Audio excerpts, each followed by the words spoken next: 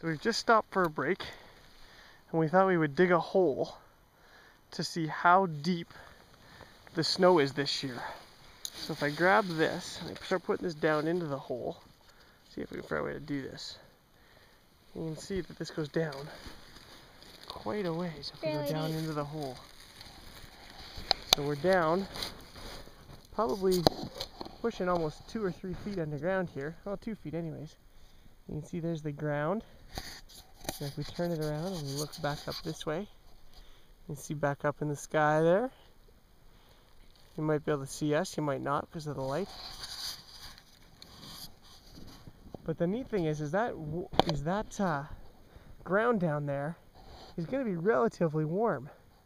So if we pull back up out of the hole, come back up out of the hole, and say during the you know during the day or during the night in the wintertime all through the forest here, okay, it would have been, you know, we had some pretty cold days, minus 20, minus 30.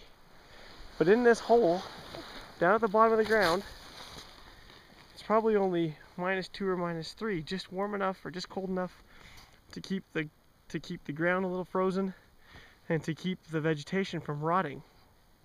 And because it's warm down there, it's a whole underground city for mice and shrews and voles and all kinds of other things that don't hibernate in the wintertime. They're active all year round. And they'll have a little network of tunnels that go down through here.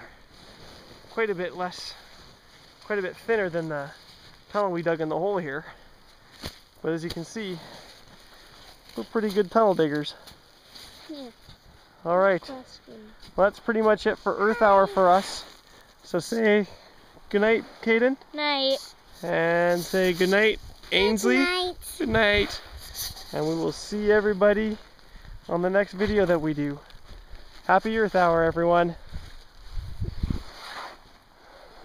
And good luck. Happy Earth Hour. And good luck. And good luck.